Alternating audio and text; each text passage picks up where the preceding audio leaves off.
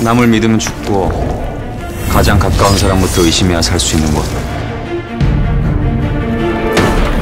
누군가가 황궁을 공격했다.